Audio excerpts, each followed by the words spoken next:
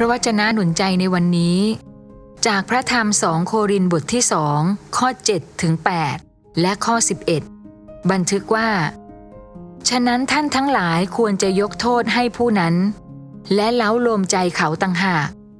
กลัวว่าเขาจะจมลงในความทุกข์เหลือล้น ดังนั้นข้าพเจ้าขอวิงวอนท่าน ให้ยืนยันความรักต่อคนนั้นใหม่ เพื่อไม่ให้ซาตานมีชัยเหนือเรา เพราะเรารู้กลอุบายของมันแล้ว ข้อคิดจากพระวจนะ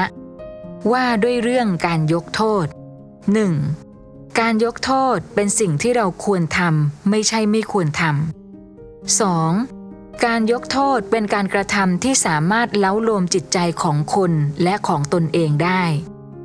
3. การยกโทษเป็นการช่วยชีวิตคน ไม่ให้จมในความทุกข์ ทั้งตัวเขาและตัวเรา 4. การยกโทษเป็นการยืนยันความรักของพระเจ้าที่มีในชีวิตเรา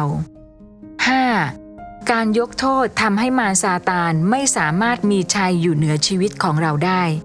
ขอพระเจ้าอวยพรค่ะ